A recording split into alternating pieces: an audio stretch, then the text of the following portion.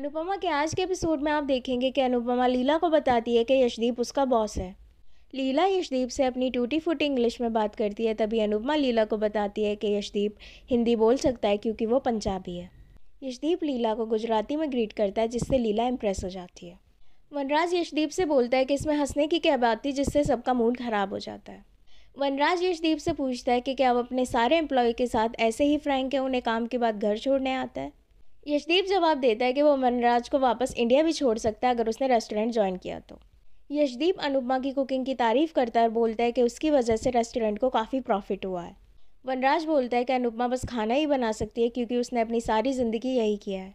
यशदीप बोलता है कि जो अपने कुक्स की रिस्पेक्ट नहीं कर सकता, वो भी रिस्पेक्ट डिज़र्व नहीं करता। अनुपमा दरवाजे तक आती है, यशदीप को बाय बोलने और वनराज के बिहेवियर के लिए माफ़ी मांगती है। अनुपमा अंदर आती है और वनराज से पूछती है कि उसकी प्रॉब्लम क्या है।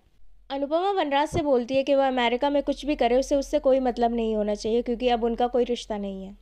अनुज बहुत ज़्यादा अकेला फील करता है, तभी उसे श्रुति का कॉल आता है। श्रुति अनुज से बोलती है कि उसके पेरेंट्स को खोने के बाद वो बहुत खाली खाली फील कर रही है। अनुज श्रुति से प्रॉमिस करता है कि वो इवेंट ख़त्म होने के बाद इंडिया वापस आ जाएगा।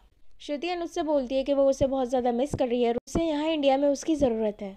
आगे आने वाले एपिसोड में आप देखेंगे कि अनुज अनुपमा का इवेंट के स्टॉल पर इंतज़ार करता है, तभी अनुपमा वहाँ आती है वो दोनों एक दूसरे को देखते हैं। ऐसे ही एपिसोड अपडेट के लिए देखते रहे मी स्टार्लेट एंटरटेनमेंट